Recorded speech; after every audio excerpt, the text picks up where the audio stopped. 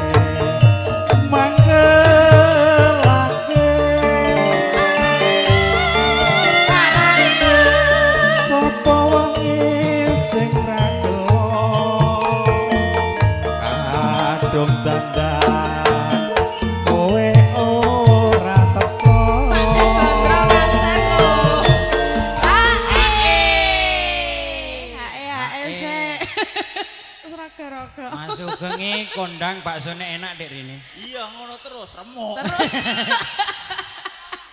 eh tenan. Pokoke saya badhe sedekah Bapak-bapak. Aku ketemu Polsek kono curug jenenge Mas Warno Resturi kancaku SDM. Tak takoni, kenal Mas Sugeng Mas Warno. Oh, saya bakul kenal bakso. bakul bakso ketoran. Oh, iya. Kanca dhewe kuwi Aku aku. ngerti lho. Jan-jane kowe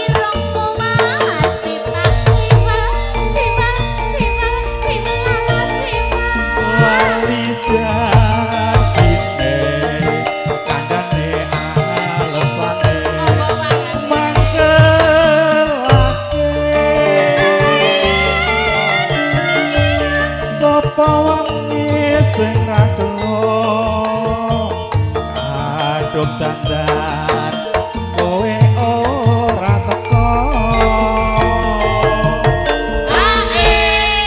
Dek Rini. Hae, hae. Dek Rini.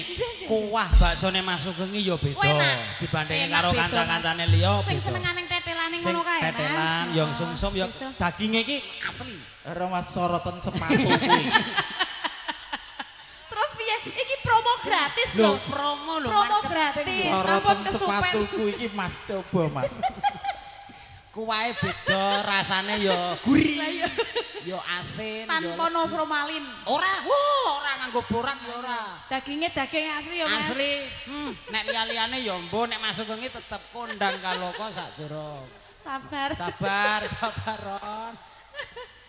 Jan-jane kowe